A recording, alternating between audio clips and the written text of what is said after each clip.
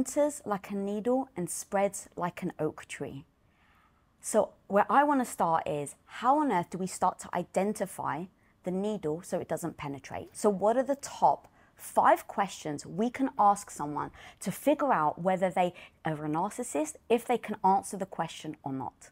Yeah, so everyone wants this the magic questions I can ask. Like, you know, if, listen, if those five questions existed, therapists would be using them all the time you know, I, I tell people a couple of things when it comes to how do, how do I figure out, like, again, that idea of evil entering like a needle is that it is so subtle, right?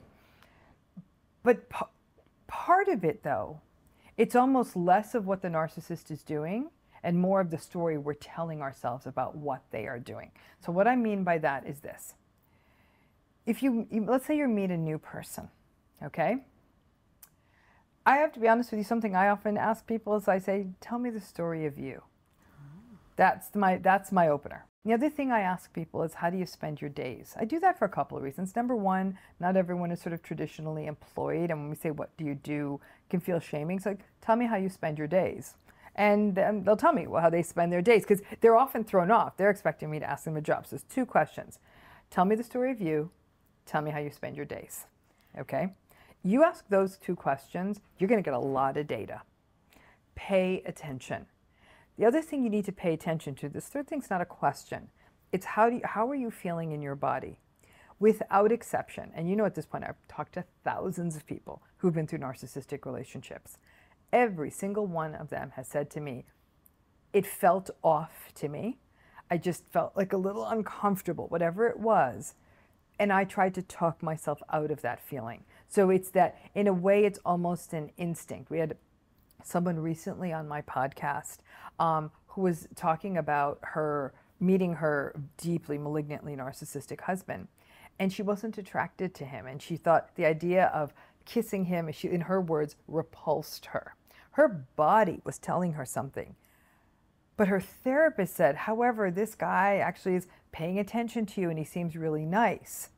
But there was something her body was saying, no, no, no. And then she listened to her therapist and sort of tried to quiet those voices. And it ended up being quite a, a life changing disaster for her. But our bodies do tell us something. And it, paying attention to that is really, really hard because we're kind of told get along with everybody. but in asking those other questions, tell me the story of you, tell me how you spend your days, it's there, there are different ways of answering that. Look for contempt. So if I were to turn up to someone and say, tell me the story of you, they'd be like, ugh, what do you mean? All right, all right for me, that's 10 red flags popping up. Oh, Red, interesting. boom. You know, because usually people will say, tell me about you, or what do you do? Those are the questions mm. people are used to having. And narcissistic people love saying what they do because they're all that, even if they're lying about what they do. But when you put the questions in those sort of non traditional ways, it's sort of interesting to see what kind of response you get back. And so they're giving you data, not so much in their answers, but in almost their process and in their approach. So, but I'll be frank with you, Lisa, as a therapist, we may have to spend three, four, five, six sessions with a person before we're like, wait a minute, mm. this is a narcissistic personality. And in theory, most therapists are trained to detect this. So I think when we make it like, what are those questions I can ask? I think we set an unrealistic bar for people. And then they say, oh my gosh, I guess, you know, I'm the fool who couldn't right. figure this out. But I'm like, no, you're not mm. the fool. It takes trained people a minute. But the final piece is, catch yourself in the story you're telling about this person, right? So a person can give you their story beats, even if they answer the, the story of them and the, um, the uh, how they spend their days. And there's facts in there. I have my own business. I grew up in Michigan, whatever. Those are facts. And then there's the story you're starting to tell yourself, oh, this person's really cool. And, you know, the, um, I wonder like it sounds like they have a lot of uh, possibility in their life and I have those shared interests. Once you start putting your narrative over theirs, that's the other place where you might start making mistakes because mm. then you're starting to try to make pieces fit. Mm. So we almost have to take a little bit of responsibility to say, what kind of story am I telling myself about this person? Oh, oh my God, that was so good. Okay, I don't want to interrupt you, but you said so many things I'd really love to touch on. Mm-hmm. Okay, so the first one, I was really surprised when you said about the like to ask them about their story because I thought that I have the understanding that narcissists love to talk about themselves. Mm-hmm. So how is that actually a sign? Like I was surprised that you said they'd get frustrated. Mm-hmm.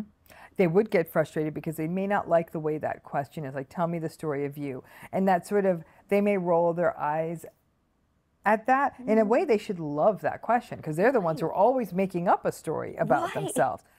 I would say now you were asking me what are the questions you ask someone right? Yeah. there's no you're not going to ask someone like do you talk about yourself a lot?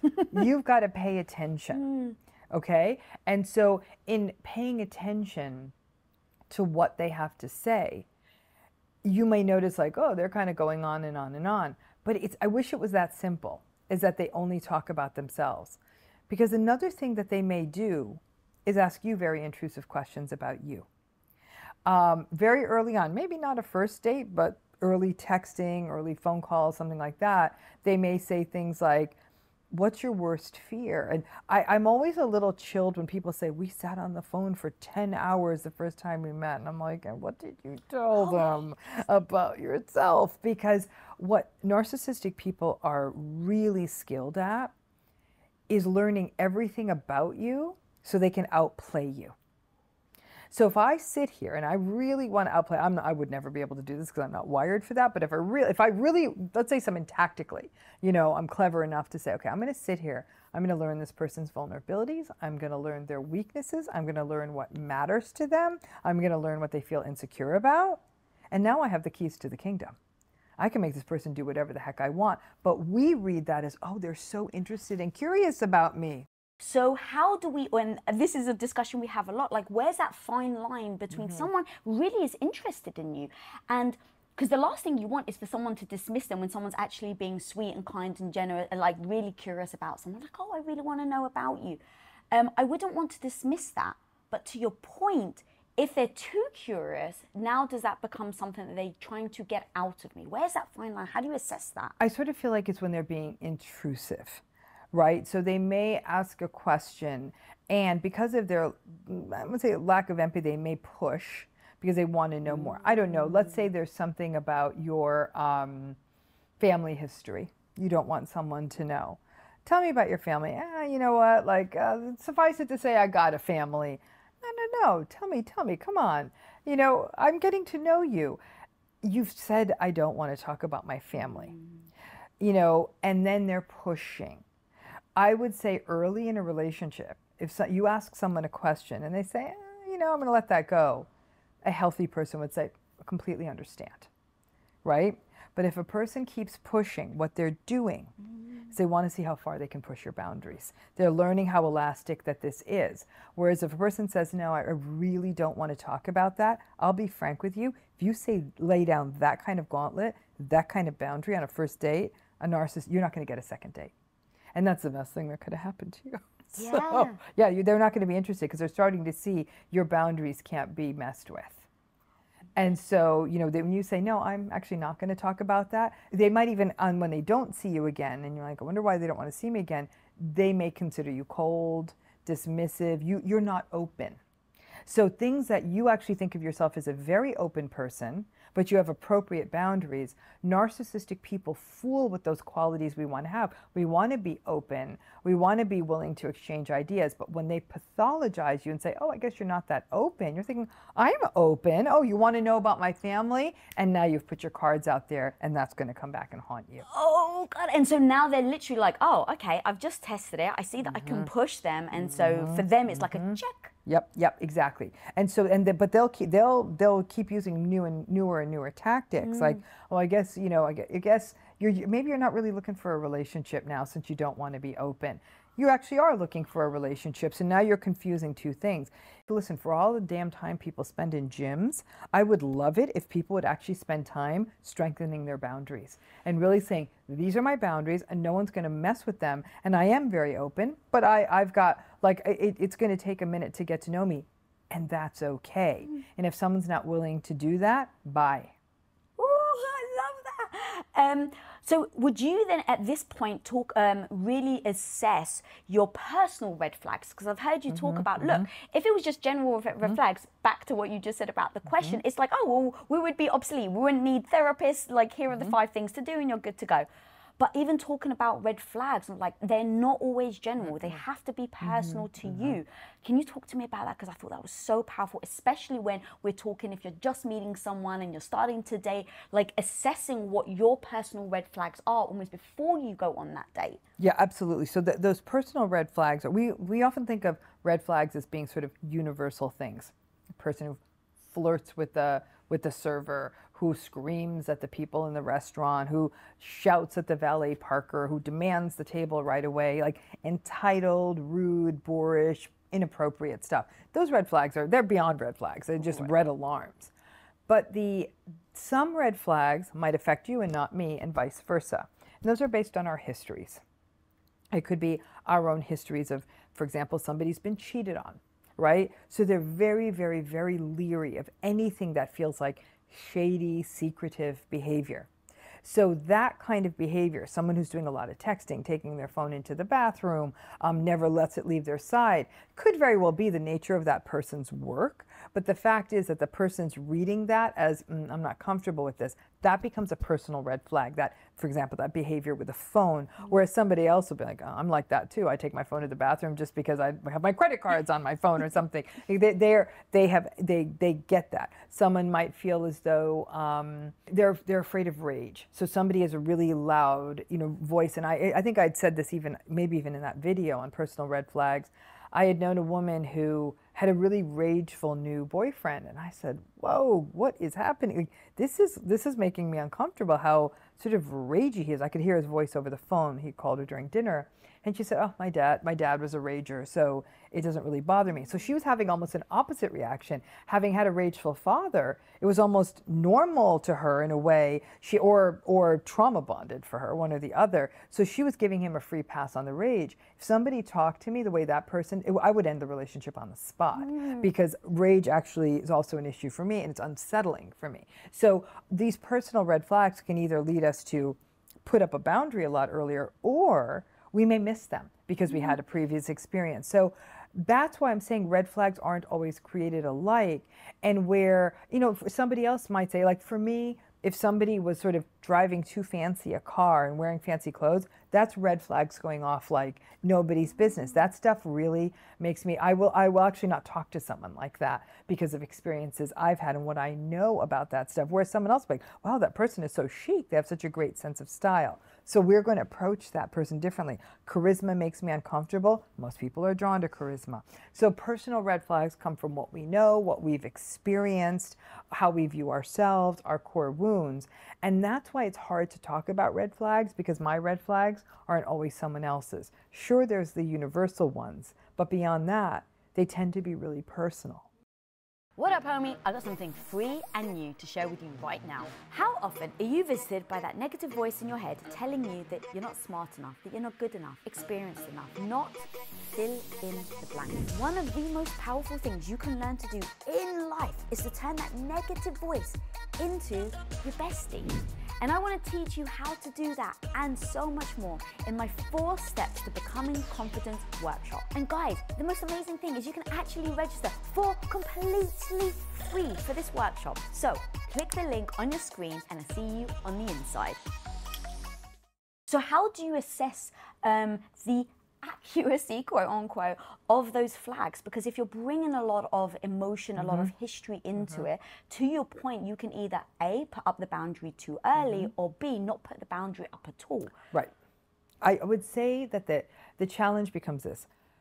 For people who've already been through narcissistic relationships and have been hurt, and in some cases really felt traumatized by those relationships or just deeply wounded and hurt, I say, I'm okay with you having too many red flags. It's almost like having an overly sensitive alarm on your house. The person's like, well, this thing goes off when the cat walks across the floor. I'm like, okay, you may want to adjust that a little, but you know what? Right now, your house has been burglarized 10 times. Mm. Maybe a more sensitive alarm isn't a bad thing. So it's about, it's it's almost viewed as a security system. If you've been harmed, I'm actually glad that your gates are so high and so mm. wide and so thick and have a 70 digit passcode. Like, I'm good with that. With time, as you feel more authentic, more strong, more safe in your skin, have more success experiences, even in non intimate relationships, just friendships, you may start trusting your instincts more. And maybe you can sort of bring down the security level a little bit. But some people say I'm overcorrecting. Like this person was, um, they talked about their ex wife twice during dinner. I didn't want to see them again. I said, okay, so you're overcorrecting. It beats the it beats the alternative for starters, okay, of letting someone in who's really bad for you. Mm-hmm. I don't even think people have conversations with themselves about what their personal red flags are. I think everybody tries to go on these first dates and these early dates on the fly like they're doing they're building the airplane in the sky and i think that's a bad idea mm-hmm. i actually think you need to sit down with yourself really sit down like just like you'd prepare for an interview or a meeting or a presentation that before you go on that date and say, okay, what are the things, what are my personal red flags, what are things that are going to make me uncomfortable, what's my exit strategy if I don't like this, um, how do I check in with myself? You need to prepare for that. And part of that is knowing what those personal red flags are. Mm. That's so strong because I heard you also say, you know, narcissists kind of know and they kind of spot who is like the easy target. Um, and so doing all that pre-work, I think helps build your um, your strengths. That when you're there, like if someone's pushing your boundaries, that you have clarity on the fact that they're actually trying to cross your boundary. Right. Um, so, what are the things that you even said boundary pushing? They're going to test you. What other things um, do narcissistic people typically do in order to um, see who is the easy target or not? Well, it's that it's it's the testing. The testing is the main way they do that, right? So they may do something outlandish, and they look to see if the person's going to call them out. They will push and push and have that be intrusive, ask questions, and the person may not answer them, and they'll see if they can extract the information mm. from them. Um, they may try to push other boundaries. They may be really late. They may want to sort of keep pushing and keep pushing on things that you know you're already uncomfortable with, but you don't want to be that person. A lot of people have been socialized to go along, to get along, to just kind of go along with what's happening. Oh, come on, it's early, give the person a chance. They're looking to see how much they can they can do this. And then the other narcissistic game, and this takes a, a little while to unfold, is they bring this wonderful front game. They're attentive, they're interested, they're fun. And just as the person's getting into it, they withdraw. Mm. They don't text back. You can't get a response. They kind of cancel a few dates. Now the person's on the hook. They've taken a few hits off that pipe, basically. Mm-hmm. And they're saying, what? Wait, we're having such a good time. What's going on? They ruminate. They stare. Should I text him back? Should I should, do, should I call her back? What do I do? What do I do? Ruminate, ruminate, ruminate. Okay? Then the narcissist responds after maybe several hours or a day or two. Oh my God, they're into me. Now you're willing to do anything they ask. It's a very clever gambit. It's a it's a sort of a hard to get kind of a game, but so the idealized seductive presentation, they get the person in, they get the person in if the person is being strong and having their boundaries and being very clear, right now the narcissist is giving you two faces fun, fun, fun, mm-hmm. intrusive, intrusive. You're like, fun, intrusive. Uh, they, the narcissist may not push, the skilled ones won't push. What they do is they pull back just as they sense that interest. And by pulling back, there's where the trauma bond begins. Now you're desperate for them. So when they wait one day, two days, whatever, and get back to you, all that tension relieves and you're putty in their hands. You will you will allow your boundaries to be railroaded. You'll let them do anything because you don't want to go through another one of those eight hour, 12 hour, 36 hour mm. times that you couldn't reach them. And so, the, and in many ways, it's a very infantile kind of a paradigm. It's like the child who wants to please the parent, mm. so the parent is always there. But it's, it's, and it's also, it almost feels a little addictive, right? That I don't, I don't ever, I'm gonna, I'm gonna keep all this. I'm gonna do whatever I need to do so they never go quiet on me again, which often means letting go of all those boundaries and letting the narcissistic person dominate. Now you're all in, and you're, and now you're in trouble. Can you then trust if they tell you that they love you or not? Love is the trickiest word in the English language. I don't think there's a trickier one. It means something different to everyone. Means mm. something different to you. It means something different to me. It means something different to everyone you're going to meet today. I think we have some universal agreed upon stuff around love. But for a narcissistic person, it's a very shallow experience. It's about validation, it's about attention, it's about admiration, it's about short-term pleasure, it's about what works for them, it's about getting their them getting their needs gratified. It's about you making them look good. That's what they mean by love. For the other person in the relationship, love may mean empathy, compassion, depth, sticking through good times and bad, loving a person unconditionally, whether they're attractive, whether they're unattractive, they put on weight, if they get pregnant, if they're not as sexy anymore. It's it's a longer term mutual I love you, you love me, I support your growth, you support my growth. Those are two very different mm. definitions, right? So can you trust them when they say I love you? They love you, but the problem is you don't know what their definition of love is. If I mm. go to someone someone's house and they say, "We're having cake for dessert," and they pull out some janky fruit cake, I was like, I was thinking about like chocolate frosting and stuff like that. okay, I guess this is a cake. But to them, it's still a cake. It's still a cake. That's amazing. So, would you then, let's say, for instance, someone says they love you, um, and you're not quite sure what that means to them. Would you just ask them, and then how? What would be the difference between your normal person answering and a narcissist actually answering? So here's where it's tricky, right? I think that what happens is is that it's not as simple as we pull out contracts and say, so you know that here's my contract and these are the terms of love for me. You can see uh, item two, clause C is spelling it out this way, and if you agree, please initial and sign. That's not. I, I kind of wish we did it I that know, way right? Because then, like, I know what my love contract would look like, and so someone else might be like. "Mm, I'm, I'm sort of not feeling the unconditional love piece, so can we just sort of take that clause out, kind of thing? But if you were to go to a narcissist and say, What does love mean to you? A narcissistic person is not psychotic. They're not delusion. Well, they're moderately delusional, about fully delusional. They know what the right answer to the test is. Ah.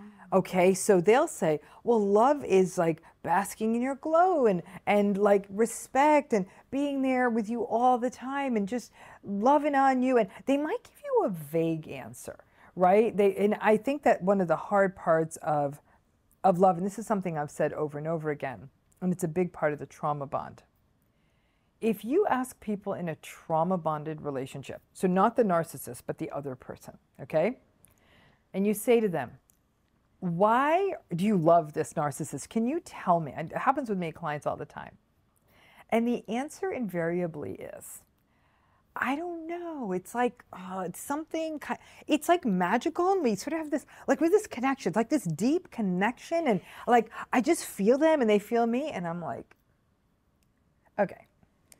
Er, the second you can't Okay, articulate you it. they can't articulate it. But when you ask a person in a healthy relationship, if I were to ask you that question about Tom, and I have asked you that question about Tom, the answers end up becoming very much like, I respect him and he respects me and we have a wonderful time together and we have shared values and I feel safe with this person. Like they give you concrete stuff right? So I, I'm thinking uh, we laugh together, whatever it may be. I, um, at the end of the day, this is the only person I want to talk to. They hear me. What, whatever the list is, I'm like, oh, I get it.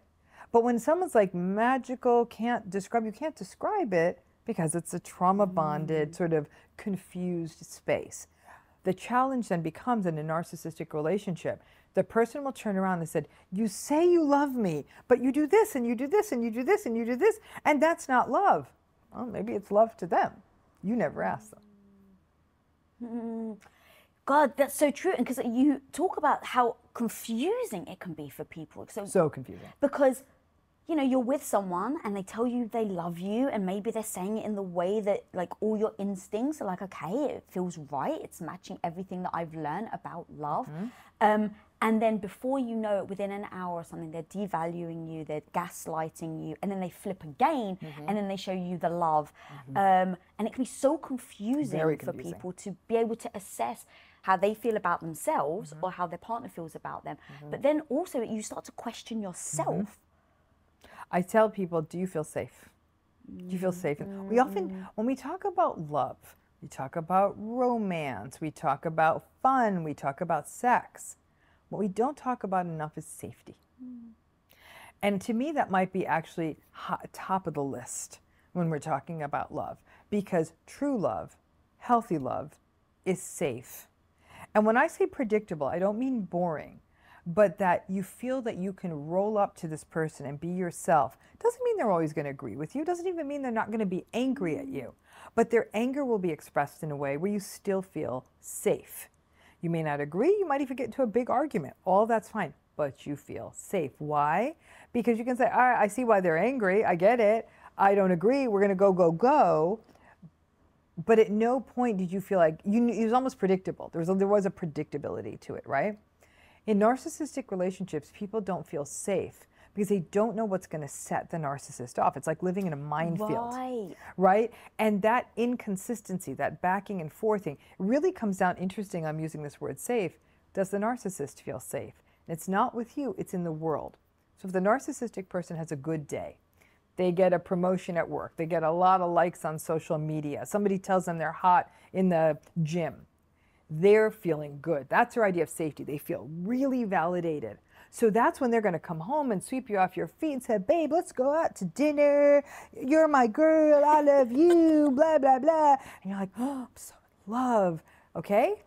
If that day they didn't get the promotion, someone else did, they didn't meet their meet their quota, people didn't like them on social media, they somebody got into a fight with them at the gym, they're going to come home and start screaming at you. You're thinking, I don't get it. Like I and everything could be the same.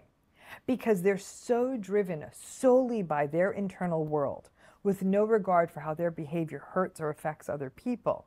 You never know what you're going to get that's not safe. It's like not knowing if you walk into your house, if there's going to be someone in your house that's going to be a danger to you. That's terrifying if you think of it that way. And so I unfortunately have to take this really cynical position where I say, if, if you feel, if this person is able to do these cruel things, I'm not saying anger, I'm not saying arguments, I'm saying just downright cruel mm-hmm. and unpredictable and not be accountable for that behavior, you, you got to judge this relationship on those bad days, not the good days. And too many people judge narcissistic relationship on the good days. Whoa! Oh my God, you're so, so right. And it gives us a certain feeling, right? Mm-hmm. So it's like, oh, but I, I, felt great on this day with them. It obviously was because mm-hmm. they were mm-hmm. having a good day um, and had nothing to do with mm-hmm. me. Um, that was so freaking strong. And especially when you even said it's not actually, like, are they feeling safe? Mm-hmm. That becomes a helpful predictor, yeah. if you will, yeah. because that, like, not knowing um, how someone's going to react to you, how someone's going to mm-hmm. respond to you, whether they're loving on you or whether they're just downright abusive mm-hmm. to you, um, isn't a way to live. No. And it's heartbreaking. Yeah. So having these understandings, because now at least I can take this information and then put in a plan for myself. Mm-hmm, and mm-hmm. so people listening, instead of feeling like they're on edge, like you're not sure what to get, to have these moments where they can step back and look at the situation and go, okay, how am I going to respond if they're like this? How am I going to mm-hmm. respond if they're like this? Um, that becomes beautiful um, now, what do you do though? Let's say you're working on yourself, and let's say you recognize that you're in this relationship that isn't healthy, and so you recognize these turbulent moments, and so now you start to work on yourself. How do I show up? What is the pre work that I can do? Um, and the narcissist partner spots it. They start to see that you are now becoming stepping into your own. You're now being mm. becoming independent. You are now taking ownership over mm. how you show up. I mean, you're, you're shaking your head. They so, don't like that they don't want you to be strong. They don't want you to succeed. They don't want you to get away. And they sure as heck don't want you to be independent. Narcissism is about dominance, power, and control. So, this idea that they want you to fly off and, and achieve your potential, not so much, because that's a threat to them. Mm-hmm. You will never be able to soar higher than the narcissist can, right? In fact, there's an old, um, an old children's fable it's called the eagle and the wren. And the eagles obviously could fly much higher than all the other birds, and so they decided to have a big contest to see which bird could fly the highest. Well, the wren is a small bird, so the wren tucked into the eagle's feathers, and then at the very top of the race, it went over the eagle. You would think like go wren, but actually in the story that all the other birds like kind of kill the wren. They peck the wren to death. How dare you do this to the eagle, right? So it's like the fairy tales even sort of enable the the I guess in this case the eagle is the narcissist, but the narcissist sets up the game that nobody gets higher than them. So let's say you're with a narcissist who's killing it, like they're doing great, right? They may actually be able to tolerate a partner getting up to a certain level, but never exceeding them right? So that's why some people say, no, there's this person and they're, yeah, they're narcissistic, but their partner's doing well. I'm like, are the, is the partner doing better? And they're like, no, but they're doing well. I said, it's not, it may be well compared to you, but sure as hell isn't better than the narcissist. So narcissistic people, when they sense, and in fact, when you even get out of a relationship with them, they will, and they see you getting happy, they'll ruin that happiness. They can't the, to, the, to the narcissistic person, the only frame of reference is theirs. How dare you you go succeed and be mm-hmm. happy. I'm going to wreck this for you. And so if you're in the relationship with them, and I think a lot of people are thrown by this in narcissistic relationships because early on they'll be like, "Oh, that's cool." And I'm that's like they'll almost think that this new person's success will reflect well on them. Mm. But over time, if they sense that that person's success is going to eclipse theirs, or things aren't going well for the narcissist and the person with them is actually doing better, the narcissist will shut that down. They and that that right there in a healthy relationship, both partners support the success of the other. That's how we know it's a healthy relationship. So it's not a person saying they're getting successful. I better knock them few, down a few notches so they don't they don't get uppity or they don't leave me right? That's the insecurity. And there is that insecurity for narcissistic folks. Despite the power, the dominance, the control, which makes them look like a bully, they're actually also afraid of being abandoned and left behind because at the core of them is very, they're very fragile. So when we feel, when you feel that fragile and you're not in touch with that fragility, you're going to dominate.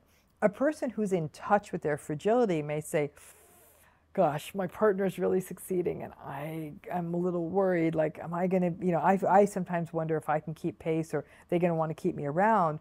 And then that becomes a conversation saying, I am so happy for you. And yet I'm having this, this sort of neurotic fear. And a healthy partner would say, hey, uh, you know, this is us together, and they'll there'll be a soothing, and then that other person will hear that and won't stay as much in that neurotic space, and will actually, and then the, the succeeding partner will say, hey, I see this potential in you. Like, let's use the success I'm having to uplift you. And then both boats rise. But that's only in a healthy relationship. In a narcissistic relationship, no. And I think people get thrown by the narcissist not being happy for them. And then I've seen a lot of people blame themselves, saying, oh, what was I thinking telling them my good news when they weren't having a good day? And I'm oh, saying, yeah. it's it, you should it's a relationship. You should always be able to share. You shouldn't have to think like ooh let me assess what kind of day they've had before i tell the fragile narcissist my good news so they don't go crying and mm. yelling and screaming. That's not a relationship. That's really toxic babysitting so if you're in this relationship then and you're starting to see all this and you try to put up boundaries, like, you know, look, don't let someone, you know, this person's a narcissist, don't let them cross you. So you're starting to work on yourself, you're starting to put up these boundaries, you're starting to mm-hmm. try and gain more confidence. And you know that the narcissist is never going to like that, mm-hmm. to your point. Mm-hmm. And so I've heard you talk about they'll try and punish you. Yeah. So where is that fight? So A, I'd love to talk about the types of punishments mm-hmm. that people can recognize that behavior. Mm-hmm. And then B, so where is they're left to go. Mm-hmm. Like, are you able to still put up boundaries in a narcissistic relationship, or is that always going to be met with a narcissist coming with a sledgehammer to try and break them? Mm-hmm. Yeah, boundaries are never going to work in a narcissistic relationship because when you set boundaries, you're exerting an equal amount of power. Mm-hmm. You're saying we're not we're not doing this. You're saying you're basically saying I have power and worth in this relationship too. And there's no room for that in a narcissistic relationship. They're not going to hold space for someone exerting their own sense of self. So you don't get to have boundaries mm. in that mm. relationship. So that's not even an option. How there's a lot of different ways that narcissistic people punish people. They abandon people. They withhold from people. They uh, humiliate people. They embarrass people publicly.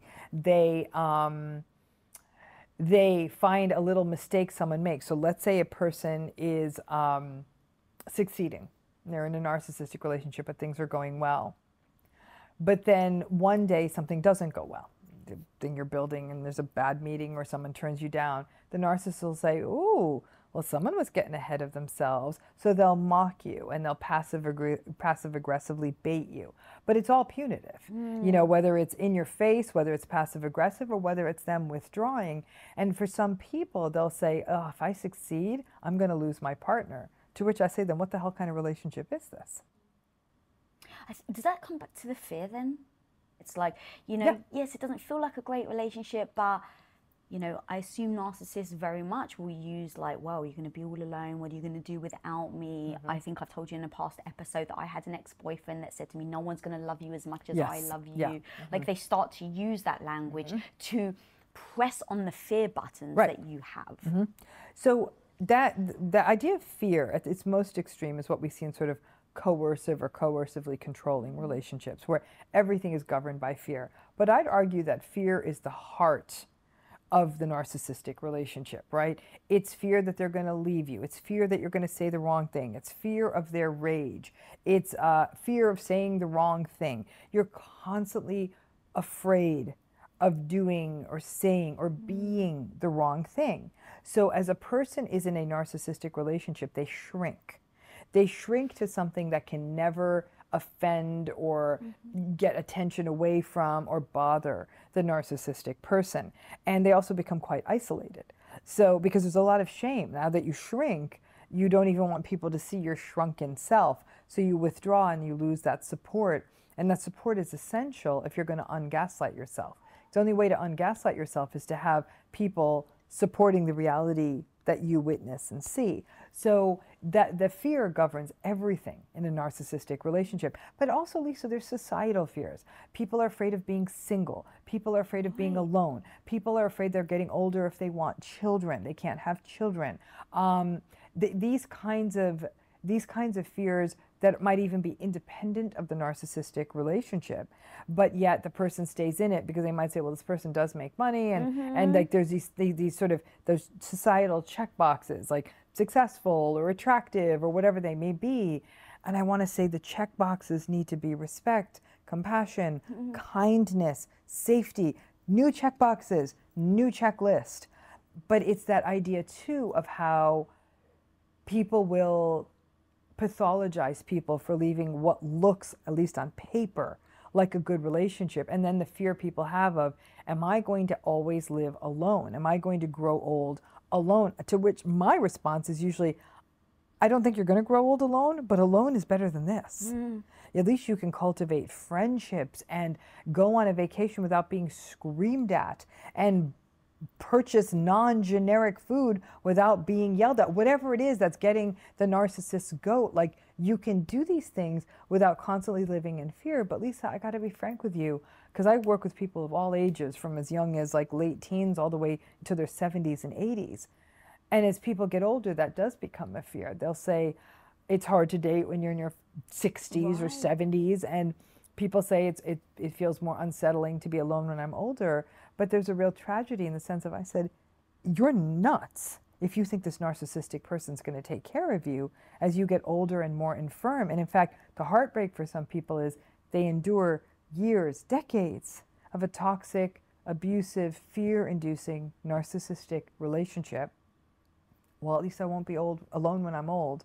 They do get sick, break a hip, whatever, and they're older. That narcissist doesn't want to take care of them. And after all those years, they recognize they actually were alone all along. Wow. So I know I'm telling you this story on the back end, and we're talking about first dates. No. But I got to tell you, folks, that first date, as nuts as what I'm going to say is going to sound. You're 28, you're a beautiful young thing, the world is your oyster. Someday someone else may be wiping your ass. You better be sure that they're up to the job. That was so fire. It never dawned on me. It never dawned on me that you're hoping because you don't want to feel alone. So you think that you're um, acting um, to protect yourself. Right. And then when you get there, it never dawned on me mm-hmm. that there's no way they're even going to be there to take care of you. Mm-hmm. So that was so freaking fun. Um, okay, there was so much there. I really want to touch on when you were saying about how you shrink when a narcissist is Mm-hmm. really trying to pull you down. In those moments of shrinking, I would assume things like your self esteem, how you f- see yourself, all go down with it. Like you don't think of yourself very highly. Um, maybe the your view on the world changes. Maybe your own um, morals may change. I'm not quite sure what words to use there.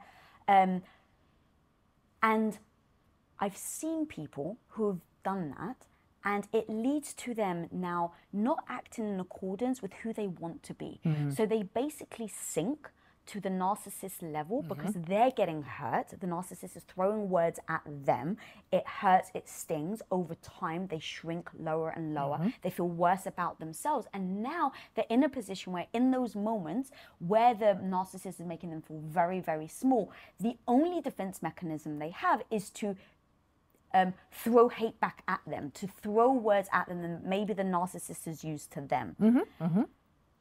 That also breaks my heart because now you're becoming a person Yeah. that you don't want to Right, be. right. How do we prevent that? Or, uh, not or, but and if you find yourself doing that, how do you get yourself back out so that you don't see yourself as being a cruel person, a Right. mean person? So anyone who's tuning in today can actually circumvent all of that. I'm going to tell you what I tell people on my YouTube all the time, people I work with, all that, which is don't go deep. What do I mean by don't go deep? And I've said that here on, on mm-hmm. Women of Impact before. Don't defend, don't engage, don't explain, and don't personalize. The don't engage is a big piece, okay? You're going to shout back, you're going to attack back because you still think there's hope here.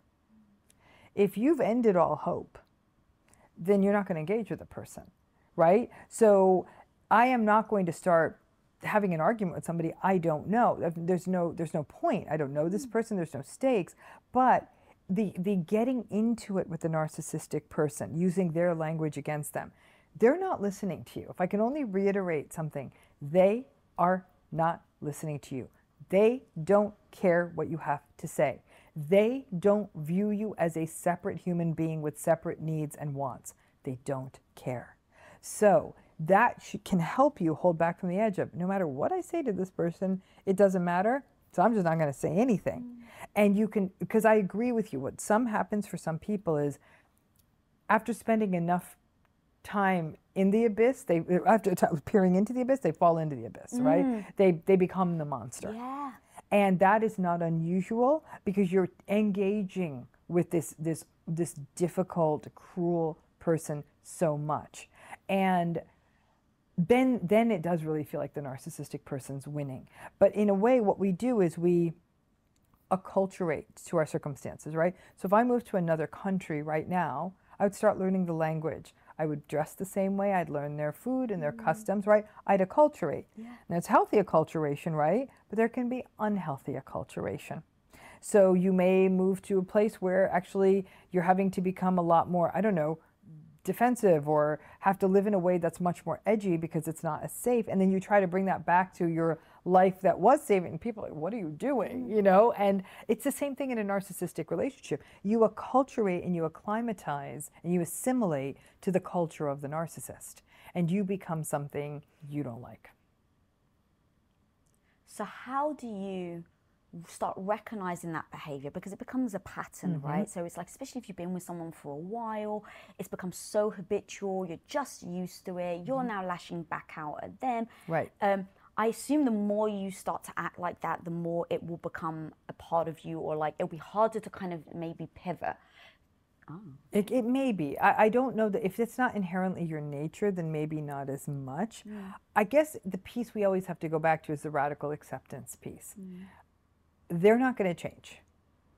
So nothing you do. So if I scream at the sun and say, "Sun, I'd much prefer a few rows in the west. I'd love that morning sun on my face. My morning, my bedroom window faces west, and so I'd love to wake up to the sun.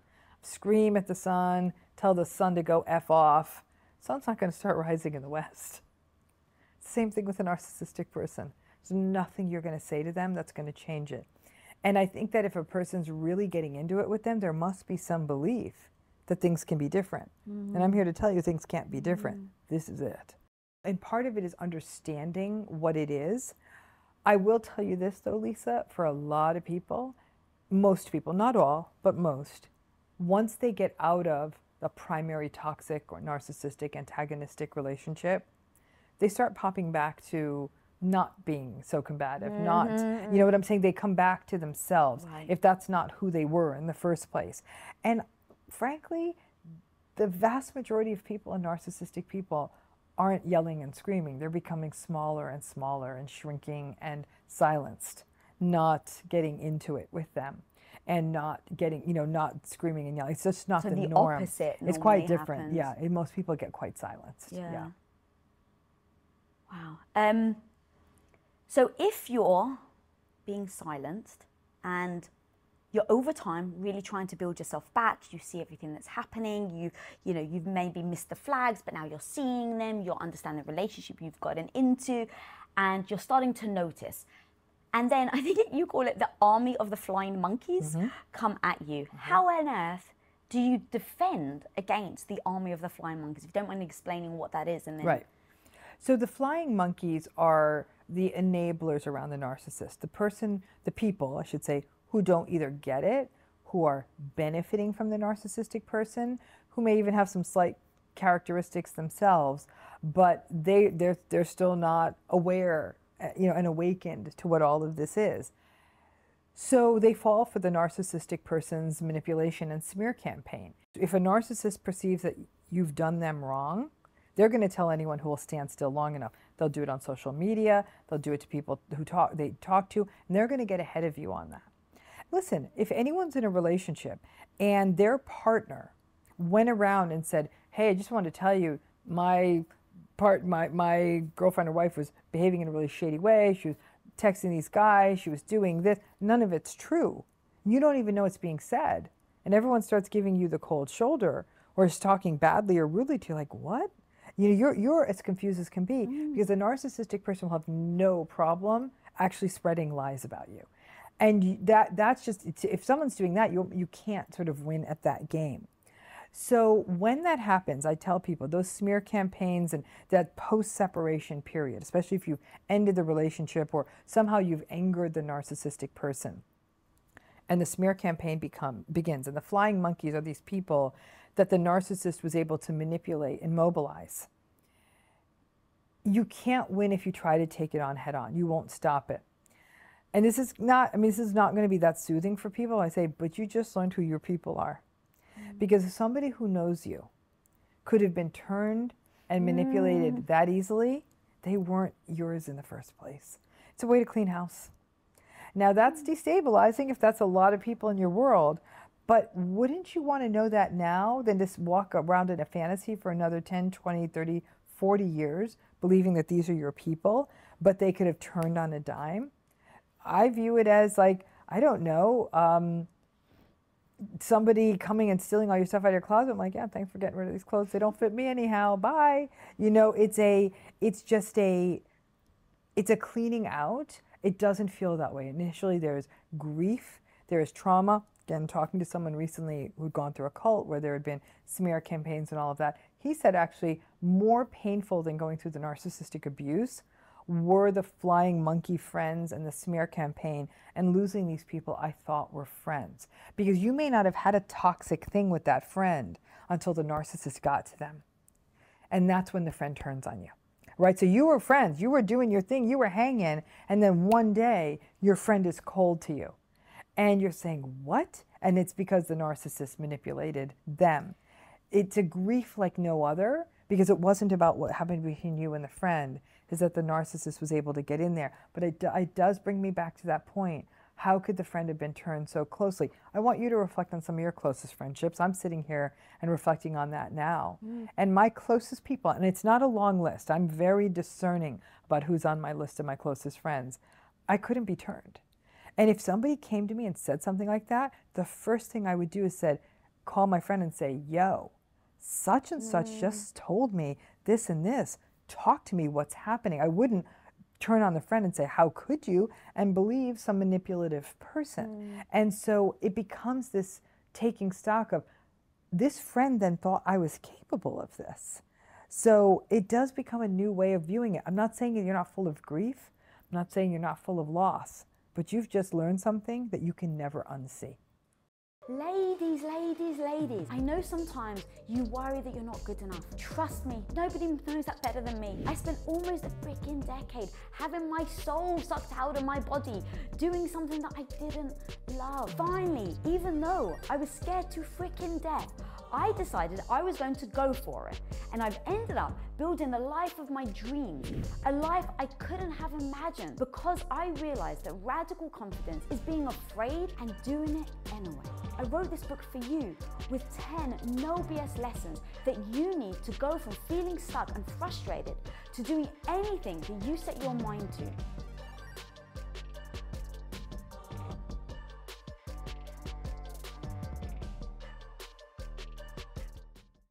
Okay. Well, I've got a question for you. Would you not at all even look at the friend and say maybe um, almost having grace for your friend and saying, "Wow, they they either were conned by the narcissist, they got tricked by the narcissist, they're weak, and I don't actually mean that as an mm-hmm. insult. I actually mean that they've mm-hmm. they've got some past mm-hmm. traumas that they've brought in, and so this narcissist comes in, has told them something, and because of their belief of maybe because of the narcissist, because of the influence it has, they've believed the narcissist, but it actually isn't about you.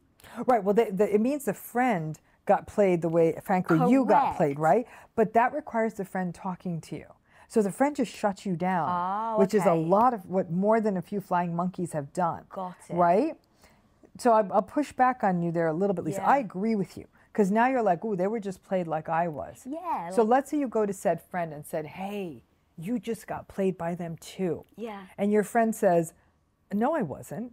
And, and then they, they're doubling down on the narcissist narrative. How long do you now try to enable the friend? The friend's got to go do their work. You have already been embattled by this mm-hmm. relationship. You can't go out there and run narcissist victim survivor camp. Like mm-hmm. you've got to, you can, you can go in there once and say, hey, they got to you the way they got to me and then the friend says to you i i actually i believe them now you're I, I, I think at that point going back in there more is not good for you But having that initial discussion, having that initial discussion okay, yes yeah. unless the friend has stonewalled you then you're sunk Right. So the stonewalling is a big sign of they've really they, it's almost like a cult. They're all in on the cult. And i think that you're absolutely right we can have and i do think we do need to have compassion for people who are getting sucked in by the narcissist them, themselves. The difference here is that this person knows you right? And so they still and i guess you're right there's the heartbreak around wow like because many people will say you know I got played too because n- that smear campaign, the flying monkeys, they'll do it to you while you're in the relationship. So you're in a relationship with them and they'll say, "Hey, you know, your sister's been saying this about you or you know, your friends are really rude to me," or they'll start speaking badly about family members, friends, colleagues. Now that's the narcissistic game of isolation. The more they isolate you, the more they can gaslight you, the less support you have, the less, um, because you have a less support, you have less, I don't know if power is the right word, but less strength in the relationship. Mm-hmm. Do we tend to see that in more severe narcissistic relationships? But going back to the original premise of what we've been talking about in terms of dating, mm. it's early in the relationship, and the narcissist is questioning you. Wait, why are you going out with your friends tonight? Like, why aren't you going out with me? If a person early in the relationship is trying to snap you out of spending time with your friends, end the relationship. Hmm. Because that, if they cannot see that you have a life separate from theirs, and they're and they're manipulating and guilting you, and saying, "Well, well, aren't you that into me? If you're choosing your friends over me, friends and other social relationships are an essential part of a healthy human being." And if somebody rolls up and says, No, it's all me, it's all me, cancel those plans, can't I come along? And it's early. Absolutely it's the not. early that It's the early. Even later, I have to be frank with you. Yes, obviously, you're 10 years into a relationship and there's a family matter that's urgent, and you have to say to your friends, listen, I got to bail out today because we're having this problem at home. Sure, but you're on your third date and it's uh, you have plans with a bunch of friends on a Thursday night, standing plans you have, and they say, "Oh, come on, like why don't you want to spend time with me? I guess you're not that into me." Say, no, my friends are really important to me. And they say, well, I guess you're not that into me. And say, if that's how you're going to assess it, then okay, then I think we're going to have to part ways because my friends are really important to me. Mm-hmm. Do not, they, your friends become a lifeline.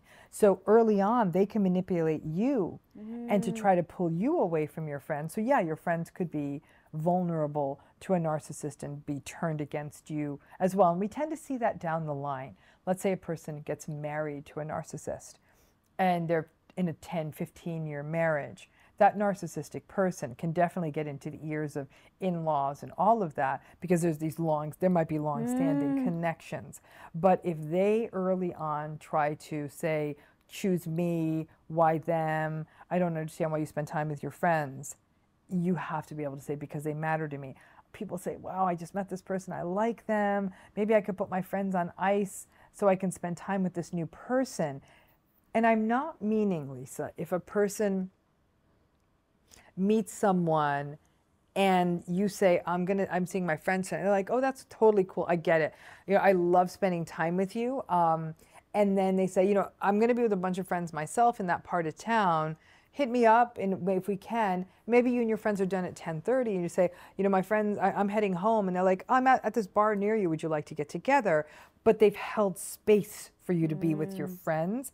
That's a different game And is it when you, let's say, are saying, like, hey, look, now actually I'm going to spend time with my friends. This is really important to me. I've heard you say about how narcissists, when they don't feel special, that's like their big trigger. Correct. And so your friends, in essence, are more special to them, that they mm. feel entitled to all of your time. But it's also a control and dominance. It's that boundary testing. Am I going to be able to get them to say no to their friends? Are they going to pick me? And when you do that, now they're like, there's another place I know that I can control them more. If you hold your ground and say, no, I'm going to choose my friends, early on it's conceivable a narcissistic person may end a relationship at that point. And actually, speaking of ending a relationship, so we started this episode with the beginning of a relationship and now ending. Um, is there a better way? Like, is it better for you to be the one that is initiating, initiating the ending or the narcissist? Believe it or not, even though it may not feel this way, the best thing that can happen is if they end the relationship. The key is for you to not go chasing after them. And no, nobody ever mm-hmm. likes to be broken up with, especially if you're sort of feeling it, but you've just sort of avoided a whole world of hurt. What we know is, especially over time, not maybe not in the first few dates, but three months in, six months in, even a year in, the, the, the period when if you end the relationship with a narcissist that what we call that post separation period can actually be the most risky at times dangerous and definitely the most psychologically difficult time of a narcissistic relationship because they feel abandoned mm. they feel like they've lost control they feel like someone got something over them they will punish you mm. text you uh, obsessively, stalk you, stalk you on social media, smear campaign, um, try to suck you back in. They'll have days they say, You're the best, you're the worst. They'll go back and forth. They become really agitated. It can actually be terrifying. And so when you end it with them, you're going to be much more likely to experience that kind of dysregulated agitation. If they end it with you, you've got to be steadfast and really i always tell people make a list of every terrible thing that happened here. You need to mm-hmm. look at that list before you go chase this thing mm-hmm. down right? Many times we want the thing we can't have. That's human nature. But to fight against that human nature and say they just did you a favor by leaving because now you can move on with your life. But unfortunately because of how trauma bonding works a lot of people get lost in that love bomby excitement someone else is going to get that now. How can that be? I want that i don't want someone else to get them. And so people will take them back. That also lets the narcissist know it's like ooh once i step away now i can go back and kind of get away with a lot. It's a really dangerous precedent. So you're better off to, I mean, better off, obviously you can't force somebody, but um, better off for them to end the relationship. and be the that when you want them to end the relationship set boundaries. So you're setting boundaries you're not giving into their mm. stuff. You're not playing their ground game. Early in the relationship mm. early they're not going to like that. They can't control you. They can't dominate you. They're not winning. That's not they're probably going to go find someone else. They may, and may even overlap. Nobody likes being cheated on. And i know i can sit here and it's easy for me to say well you just dodged a bullet and great. Nobody thinks of it that way. They view that new person as a replacement. They think that other person is better than them. And and I get that. Like it's it's it is. I'm ridiculous if I think I can say to her, "Oh, you're lucky that they found someone else." No, your heart's broken. Mm-hmm. You feel gross that they went and chose someone else. But if you want them to go, set boundaries. They'll leave. Do you think that there's a moment though where you're kind, you are conflicted because Mm-hmm. it's like that point of what we were saying earlier about feeling alone, especially if they've gone to find somebody Mm-hmm, else. There is that part of you if you're already insecure, if the narcissist has already kind of worn you down, that that makes you feel not good enough. That that is a reflection of who you are. Mm-hmm. Yep, absolutely. Because I think that you are, again, it's a tipping point. Early on, I, I, Lisa, I, the thing I want to reiterate is I think that the narrative we hold is that people who get into narcissistic relationships are broken people. They're, they're not, they have no self esteem and they have low self confidence and they come from really awful toxic families. All untrue. I cannot tell you the number of people I've talked with who are saying, you know, when I met this person, I was at the top of my game. I was in the best shape of my life. I was loving my career. I had friends. I had a great place to live. Like, I, no wonder I was so attractive because I was in this great place, right? So this isn't the story of the, the, the sort of the shrinking violet, the broken winged bird that the narcissist takes advantage of. This isn't the person with daddy issues. Some of these people say, I love my parents. I have a great marriage. I have a close knit family. Like it wasn't that. So we want these tidy little explanations. Mm. But no, it's actually because narcissistic people are charismatic and charming and compelling and confident all the things we're told are attractive in a partner. When you're feeling at the top of your game, that person's going to be attractive too. They initially mirror back some of the best parts of yourself. And then they start cutting those parts off. Alicia was going to say, how do you go from that then? Because you, as you were painting this picture of this person, I was like, oh well, a narcissist wouldn't be able to get through to them because they're already confident. Sure, they would. You're you're you're the bomb. Like, look how good we look together. You know, I'm mm. starting this massive company. I'm going to be a trillionaire. Like, I just I've got all these connections. I work all the time, but like, I live big. I think big. Like, they're going on in this whole grandiose flight of fancy. They're attractive. They seem to be driving a nice car. Like, they've got that front game. Like, they look good. Or Lisa, or could be the flip side. You're at the top of your game. You meet someone you're attracted to, and they're kind of down on their luck. Like, you know, I have these big dreams, but you know, things things haven't launched for me. They haven't gone the way I wanted. I thought I had investors, I didn't, or I thought, you know, I got into this school and then I had this problem, blah blah blah, whatever. And you may have had your own bumps in the road, and now you're doing well, and you're thinking, oh, I want to encourage them because I would have wanted someone to do that for me. Mm. And from a very empathic place, it's not always the flashy person. Sometimes it's a person who's a little down on their luck. An empathic person will identify with that and say, things are going well in my life. I want to pay that forward. Mm. And you may get lost in the in the, you know, the bottomless pit of trying to rescue a more vulnerable narcissist. So it can play out both ways. What are the acts of a vulnerable narcissist then? initially they're not going to look resentful and sullen, all the things they are. They're going to look down on their luck. Mm. They're going to look a little sad, maybe even socially anxious and awkward. So if you do have empathy, you might say, oh, this person is just, in fact, you would never even think narcissist. They're not grandiose or pretentious. They're kind of anxious and awkward and and say ah yeah i had all these big dreams but none of it worked out or and you keep hearing that you see somebody whose dreams were thwarted it might take you a few weeks to recognize everything's always someone else's fault. Nothing ever works out for them. Everyone's out to get them. You start noticing that, but you might have already started buying into their narrative by then.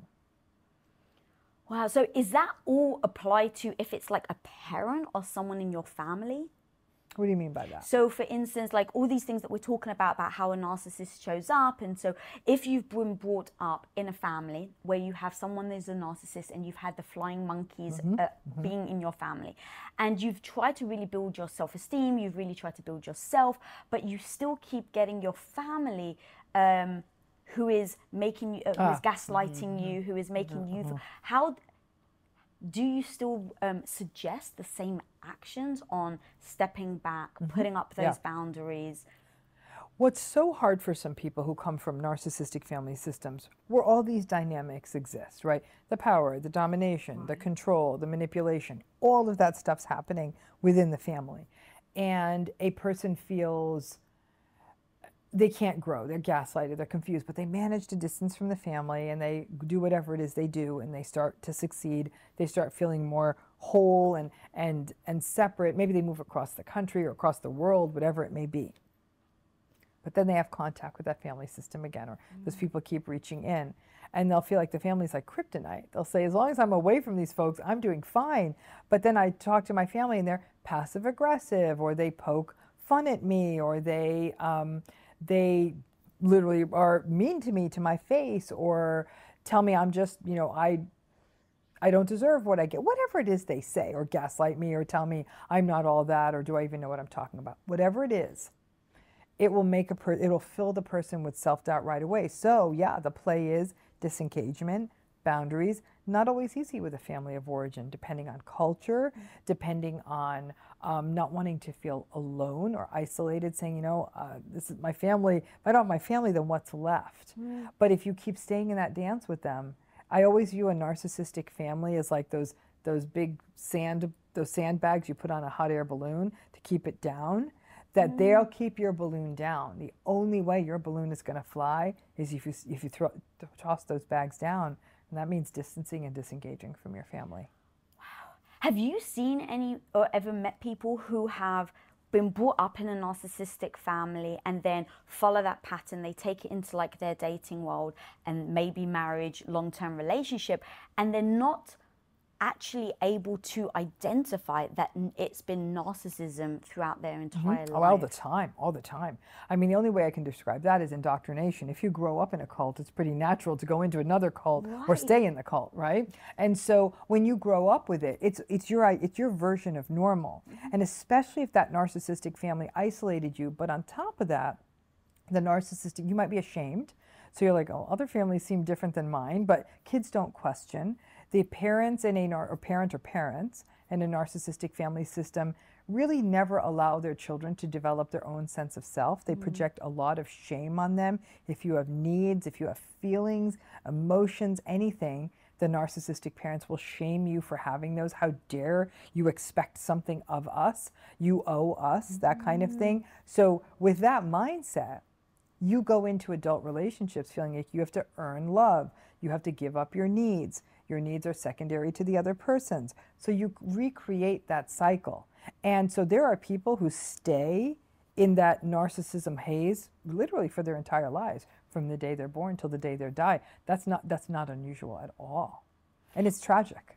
Yeah. Is there any way to um, help someone? Like if you notice that someone in your life is actually with someone um, in a narcissistic relationship and maybe you've identified exactly what you just laid out so if you someone dear to you could be yeah. a sibling could be a friend anyone it's going through this the last thing you want to do is hit them over the head with it and mm-hmm. say your boyfriend's a narcissist right they're gonna be like what and they'll actually they might even distance from you especially if they're still very trauma bonded inside the relationship what you may want to start with is say always check in with somebody say hey are you okay like it you you mm-hmm. seem it's it seems that things have been a little different and difficult for you i'm just checking in Give them the door to share what's happening in their life. They may then start sharing patterns in their relationship. Oh, I don't know. It's sort of like I can never get it right with, and they'll give you the whole litany of things. Listen to them. And then say, you know, it's so interesting. I'm hearing a pattern here and I'm a little bit worried because they don't really seem to have that much empathy for you. And it seems to be their way or the highway. You build the pattern out. Yeah, yeah, yeah. And that at that point, you might want to say, listen, I don't know if this is what's happening, but give them a resource. Mm-hmm. That resource could be anything. It could be this episode. Or Dr. Ramani's Your, podcast. My podcast, my, my YouTube episodes I've done with you, a book. Say, listen, I don't know if this is what's happening, but give this a look. If it fits, mm. great. If it doesn't, mm. great, right? Don't shove the agenda. Meanwhile, you're thinking 10 alarm flyer, fire, narcissist. And then they may read it, they may not. Um, and maybe they will. And they might say, wow, this is my life. How did this person read my mind? I get this all the time. People say, do you have a camera in my house? Are you watching? I'm like, sweetie, I can't make my own cameras work half the time. So no, I don't have a camera in your house. But um, I- In many cases, I'd say over half, the person will say, ay, ay, ay. And maybe they'll get into therapy. Maybe they'll open up to you more. I would say that, though, as a friend or a supporter, you can't have an agenda. I know your hope might be they get out of this relationship, mm. and you feel disappointed if they don't. Sometimes the best you're going to be able to do is be a support to this person and say, I'm here. And if they finally say, Yeah, I agree, I read these books, this article, watched the video, whatever, I agree. I don't know what to do. You don't want to say, Okay, all right, this is what we're going to do. You're going to say, I get that. This is going to be a step by step process. I'm here if you want to talk about it. Be that place where you can be the anti gaslight for them. And when they oh. say something, say this happened, say, yeah, oh, it sounds like he was gaslighting you. I, you know, that you, th- this is a reality check. This thing you said happened. I was there at that dinner. I saw it happen. Mm. And now, little by little, millimeter by millimeter, that person gets more and more strength. They start getting a little more resolve. Perhaps over time, they get into therapy. Maybe they will leave, maybe they won't, but maybe you'll still at least see them get a little bit stronger. As their friend and supporter, you can't get invested in the outcome. All you can be invested in is being a good friend to them. And I also say that with sort of an asterisk, saying that, and sometimes you'll feel like you're burning out, saying, Oh my gosh, how many times are we going to go on this merry-go-round? And to those friends, I'll say, sometimes forever.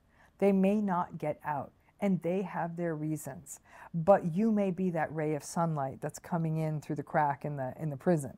Be mm. that ray of sunlight because different people make different deals with the devil. I don't get to sit here and say the only path forward is to get out. Different people make different deals with the devil. Ooh, that really hit me. Yeah, it's so when I think about the friend who's trying to help the, their, their friend and guide them, um, I think there is always that beauty in the heart of what they're trying to do, Yeah, right? So it's yeah. like maybe they've gone through it themselves. Yeah, maybe course, they've gone through the narcissistic relationship. They realize how difficult that Mm-hmm. was, and now they see the signs, right? They maybe see some of the red flags, and your friend goes on this first day, asks all the questions that we just started this episode with, and now your friend actually has a different perspective, though. So let's say you think you haven't seen any of the red flags, and your friend is highlighting all the red flags. Because they truly want what's good for you, right? They've gone in a narcissistic relationship, they really care for you. And now, at what point can you actually t- trust yourself versus trusting somebody else who's also been there? So it's not even just like you don't know what you're talking about. Like, do you have a way of, like, is it always a self assessment first, taking what your friend says as, um, like, and just explore it and not always take it as potential truth? Well, I think that uh, the best any friend can do is say, for example, that example I gave you of isolating someone. They pathologize. What do you mean you're going to spend time with your friends? What do you mean you're going to do your family? What do you mean you're going to that work event? Whatever. That is a a pattern you highlight. That's always an unhealthy pattern. Does that make sense? So there's some things that are absolutes, Right. right? A person is chronically late. You know that you're the, you're being left. Your friend is waiting in the restaurant half an hour, 45 minutes, an hour.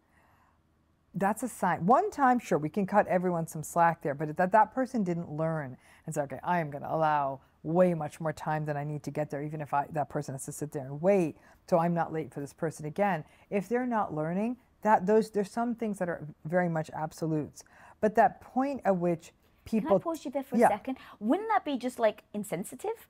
Like actually, in those moments, that's how I would have perceived it. I wouldn't have perceived it as an absolute trait of a narcissist. See, I wouldn't, it, and I'm not saying it's an absolute trait of a Oh. narcissist. I think that all we can do is cobble together these soft signs Right, and right. Mm. put them together. So you may be in a relationship with someone who is sweet as can be, warm, kind, compassionate, and they're always late. Right. Okay?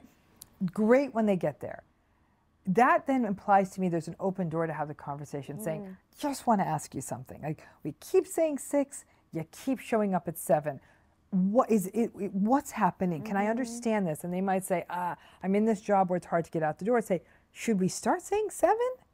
And then you say seven and they're on time, right? So all of this becomes data. Now, if, if the person is narcissistically late, as I call it, and you say, listen, you're chronically late, and they start coming at you like, oh, really? Who made you the time police? And aren't you just so much better? You know, I'm really, actually, I'm really busy and I have an important job. So if you think like getting here for a glass of wine is so important, that's narcissistic. Minimizing your need. Minimizing your need instead of recognizing a person saying, I'm, and, and also not getting in touch. So that hour late person who's saying, once again, my my boss is catching me out the door.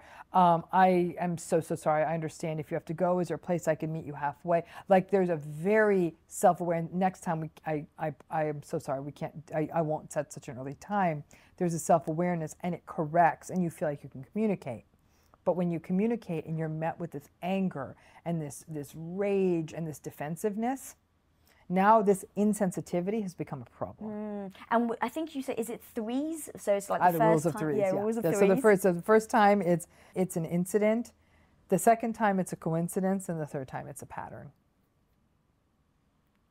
So in things like this, it would be notice the patterns. Notice, notice the, always patterns. the patterns. Oh, because I think a lot of people will say, "Come on, when we're first meeting someone, there's always things that are a little wonky." I don't mm. disagree right? We do something awkward. Maybe that's the day the freeway is closed, whatever it may be, right? And we don't want to text in the car. We don't have our phone set up right, or our phones in the back seat, or whatever the, the issue is. Is that there is some reason we communicate about it and we are aware of it and we ensure it doesn't happen again. All of that stuff happens early on. So you, and then from that, after that first time, they're oh so late it's not that anymore. Mm-hmm. And they are on time and they're very communicative and they're very warm and respectful and kind. You write that off as sort of the first date glitch, life happens kind of thing. The justification of patterns, they're always late. They're always talking over you. They're um, always criticizing your friends or your work or making fun of what you do, consistently doing that. That's a pattern. And if it's happening when they're supposed to be on their best behavior, mm. then you're in trouble. That's so true. Would you suggest someone starts writing these down? Because you know, like we, we, said earlier, you start to kind of think, is this just me? Am I imagining it? Is it all in my head? Like, um, am I gaslighting myself? So, like, would you suggest people start to write that down when you start to get that uncomfortable feeling?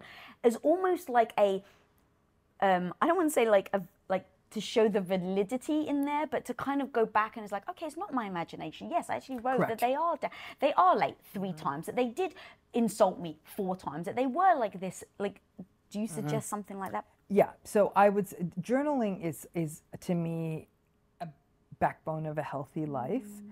And there's so many different ways people can journal. People can do what I call the Dear Diary format. Like, Dear Diary, today I mm-hmm. got into an argument with my coworker and the proposal got, did end up getting accepted and I went to the this place for restaurant and had a date and this like there's the dear diary format there is there there's gratitude journaling there's joy journaling there is but i think if you are starting to date someone and it's new write stuff down patterns, good and bad. Mm. You know, really start journaling that because if you're lucky, by date three or four, the bad stuff is sort of. Um, they ordered their steak well done, and that's their great sin. Or they ordered chicken fingers. And, listen, you might say, I can't be with someone who orders chicken fingers. Okay, then that's on you. All right, but the um, but you'll notice that the things you're noticing, like, wow, I'm really grasping at straws. I really enjoy this person's company. They're lovely, mm-hmm. they're warm. But then you may, you know, it also, though,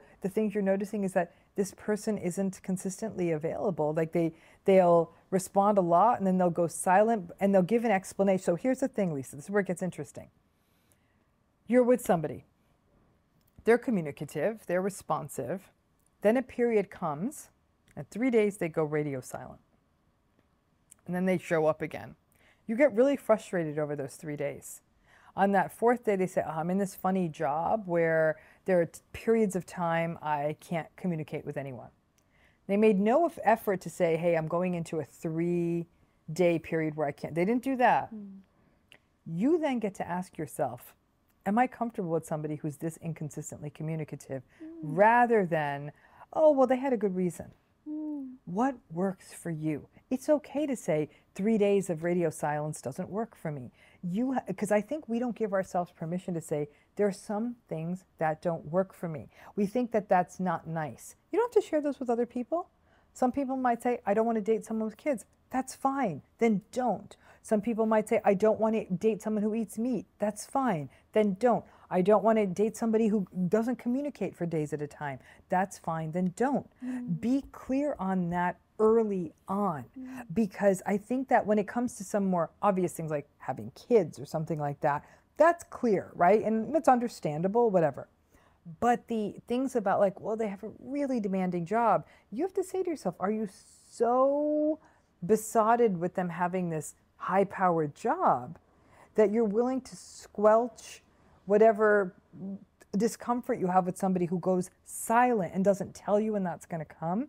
You have to have that balancing act of what does and what doesn't work for you. And I think a lot of us don't feel that we have the right to say there's some things that don't work for us. Oh my God, it's so true. And I think if you don't do that, you said it earlier about like a microscopic thing. It's like, well, it's fine. And then you go, okay, they act like this, they're late. Well, it's fine. And you end up kind of agreeing to these small things that you think in the moment isn't a big deal, right. but then a year, two years, three years down the line, that's kind of gotten bigger and bigger of the things that you're saying it's right. fine to. And you what we can call it justification justification creep, yeah right it's you, you start with a little one they're late well they've been out of touch for three days uh, they you know they're cancel plans at the last minute a lot it's okay it's okay where when when when does it stop being okay give you an example too people say well that's rigid is it rigid i've worked with people for example who do have kids and so they'd say well sometimes i have my kids sometimes i don't i'm trying to date so the nights I don't have my kids are the only times I could have dinner with somebody. I don't have the seven night free schedule. So when they change plans, I can't do it. Mm-hmm. Okay, then that's not going to work for you. Mm-hmm. Done, finished. And that's the, the unwillingness to say, well, I'm going to make it work. And then over time, this person's hiring sitters and turning their schedule upside down and getting into arguments with the co parent and, and throwing, they're throwing their entire schedule off to suit this person when they recognize somebody who's this flaky with a schedule is just simply not going to work for them. You've got to know yourself. And I think that too many people, in particular women, aren't socialized to say, there's some things here that are simply not going to work. I think too many people are given the discourse of, ooh, you're just lucky you found someone. Mm-hmm. No, you're not. You're deserving. It's not that you're lucky you found someone. You would, you deserve to say, if I'm going to construct an intimate relationship, I need to make sure that there's elements about this that work. And in narcissistic relationships, we justify and justify and justify uh, many, many different things, not even just this practical stuff, but abruptness. And they'll say, they might even apologize. And that's why it's so tricky that they'll be really abrupt to you one night, really rude, will hurt your feelings. And the next they'll say, oh, I had a really, I had a terrible day with my boss.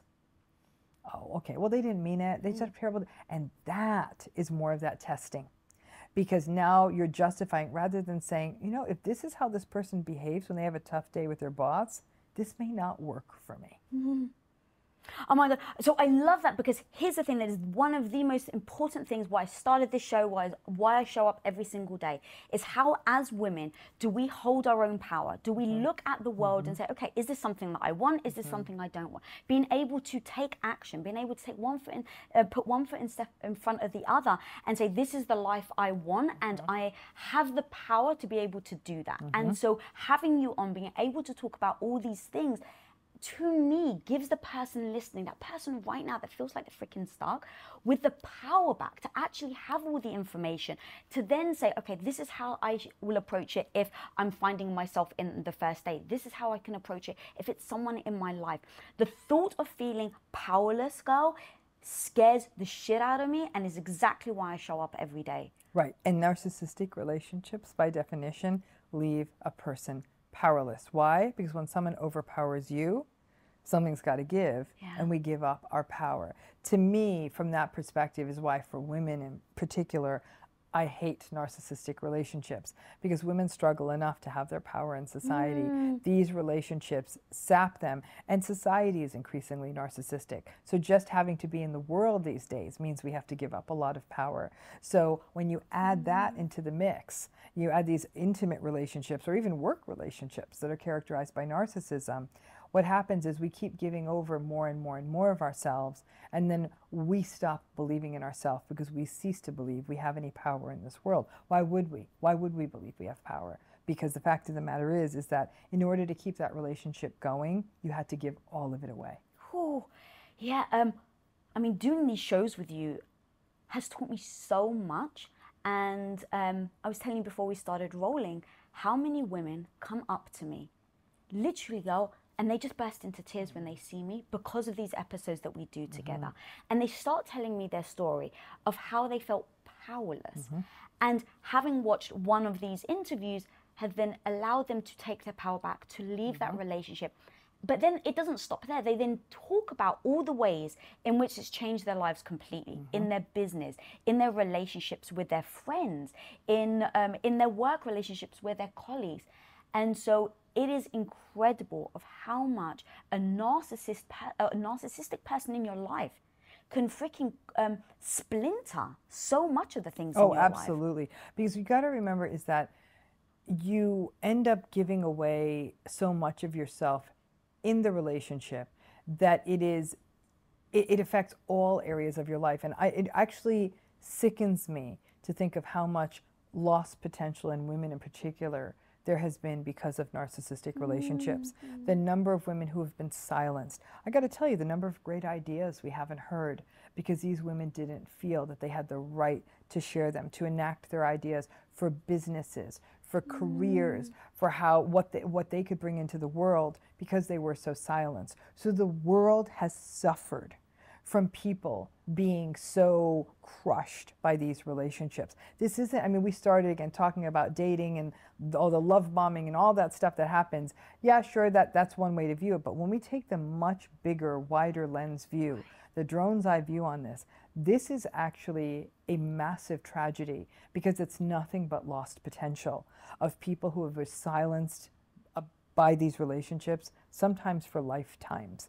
And I can't tell you how many survivors I have worked with whose lives were thwarted.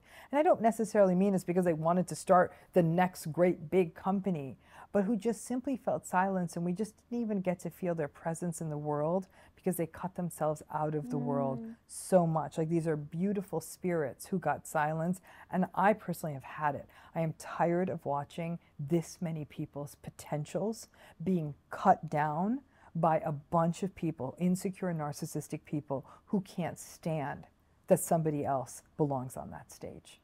Amen, sister.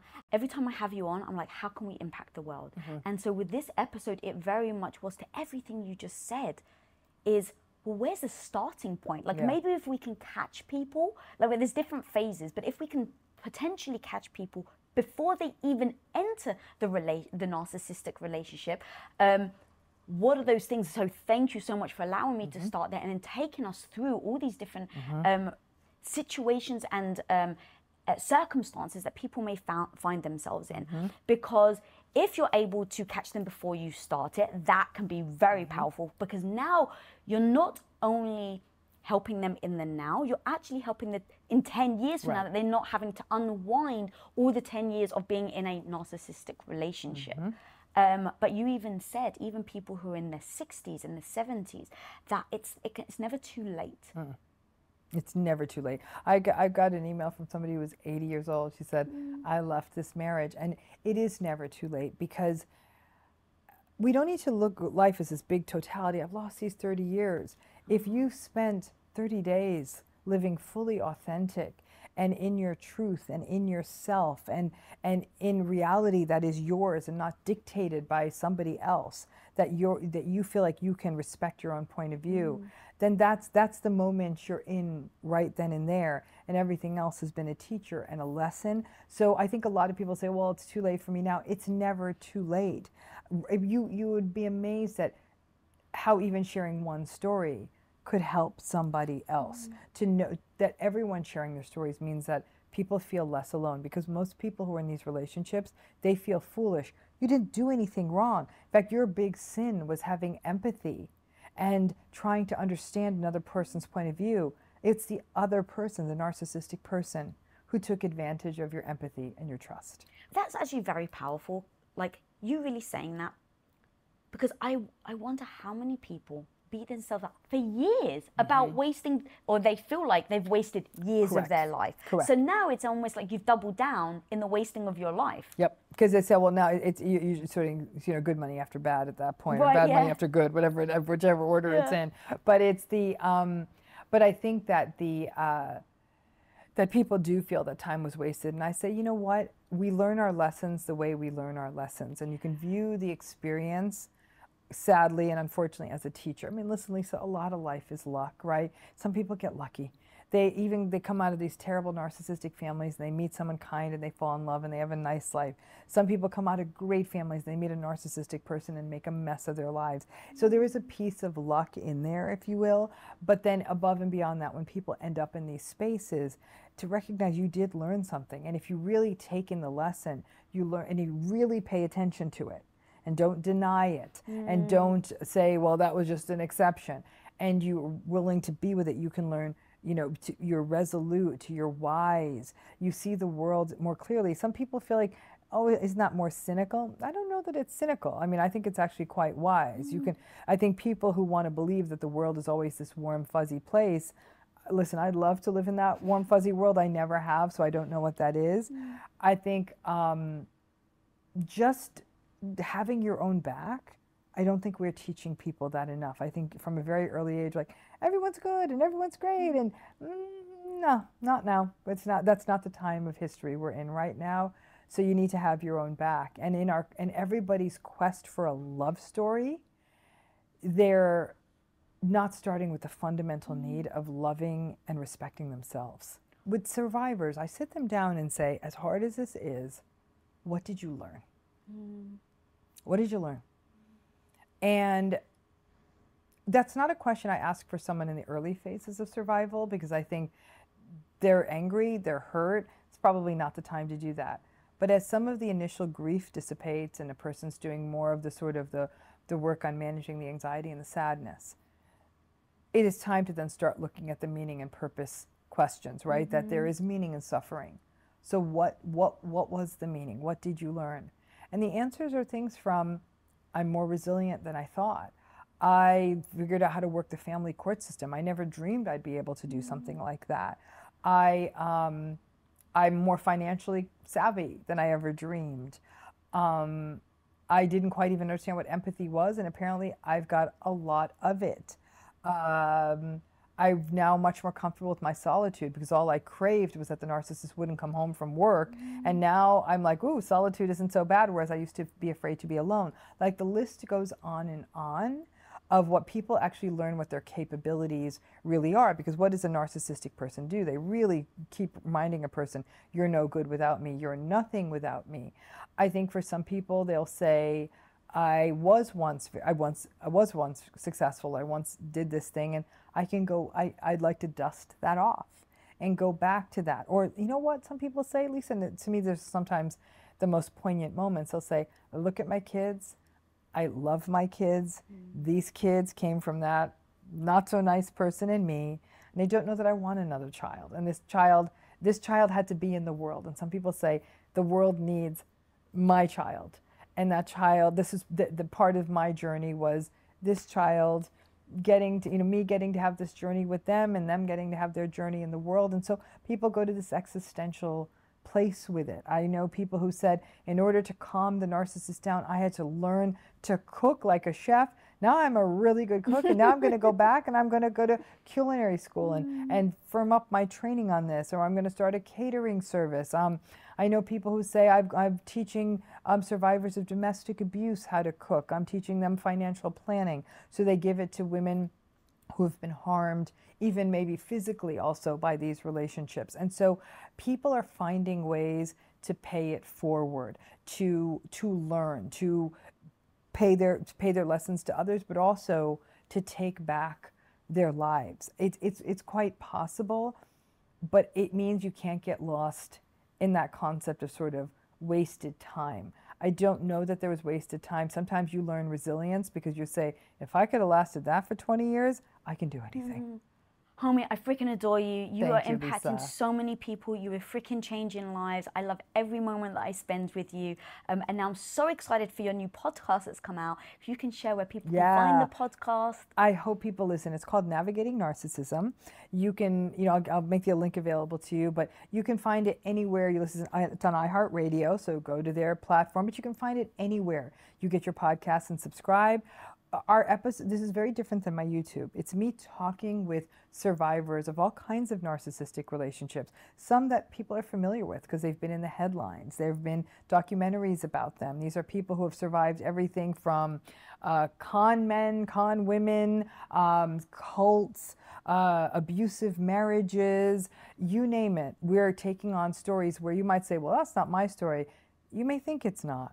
But once you start hearing them sharing those common themes of narcissistic relationships, you think, holy cow, like this is all of these relationships are are this. And so um, I also, for those folks who are interested in healing from narcissistic abuse, I have a, a healing program and can make that link available to you too. And um, and people can sign up and it's a monthly program and you get workshops and question and answer and journal prompts and guided meditations and all kinds of things to help people dial down into their healing on a monthly basis. Wow, we'll put all the links below. Thank you. Honestly, I can't get enough of Dr. Ramani. I'm Oh, just saying Lisa, it. Guys, you. guys, go freaking check out this woman. If you haven't like seen her before, where have you been? Literally, this woman is everywhere. She's creating so much freaking impact, one person at a time. So guys, go freaking check her out. Her stuff is amazing. If you're not subscribed, what are you doing? Press the subscribe button because guys, you'll get notified of all new episodes just like this. And if this episode brought you value, please, please do share, let your homies know that Women of Impact is here and creating impact. All right, guys, until next time, be the hero of your own life. Peace. Being vulnerable isn't me telling you the same insecurity 10 times a day. That's not vulnerability, that's dumping. I'm making you responsible for, for my emotional state every time I feel it. That's not the same thing as vulnerability. Vulnerability is I'm insecure about this.